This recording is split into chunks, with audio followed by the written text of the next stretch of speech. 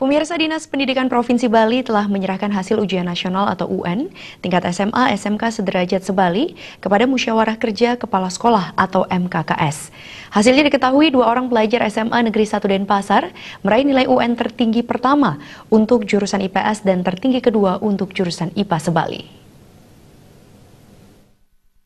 Prestasi adalah Niputu Sri Rejeki Pancadewi, peraih peringkat pertama jurusan IPS dengan jumlah nilai 381,50 dan Jennifer Luisa, peraih peringkat kedua jurusan IPA dengan jumlah nilai 391,50.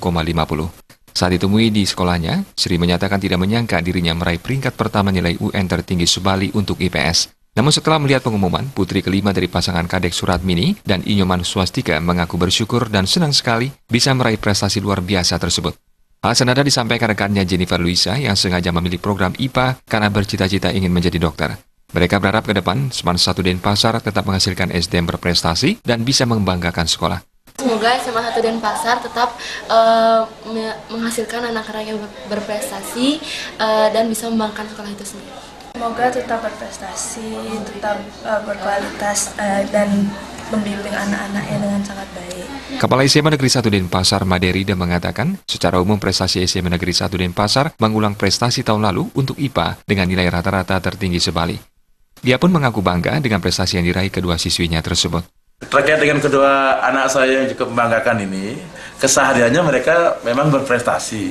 Jadi mereka itu nggak jauh-jauh dari ranking tiga besar di kelasnya atau tiga besar umum di jurusannya baik itu Luis di jurusan IPA maupun rezeki di jurusan IPS. Kepala Dinas Pendidikan Provinsi Bali, Iketut Nguraboy Jayawibawa mengatakan, UN bukanlah menjadi babak akhir siswa dalam mengikuti proses pendidikan. Diakui dari pelaksanaan UN tahun ini di Bali terjadi peningkatan indeks prestasi secara kumulatif maupun perorangan dibandingkan tahun lalu. Kalau dilihat dari tahun-tahun sebelumnya, memang fluktuasinya tinggi sekali. Tapi untuk tahun ini dari keputusan eh, ini juga dari rapat eh, pusat eh, seluruh SMA SMK se-Indonesia meningkat tapi sedikit sekali, tidak signifikan lah.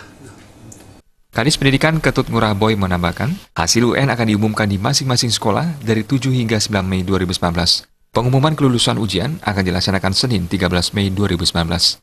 Indra Wijaya, Bali TV.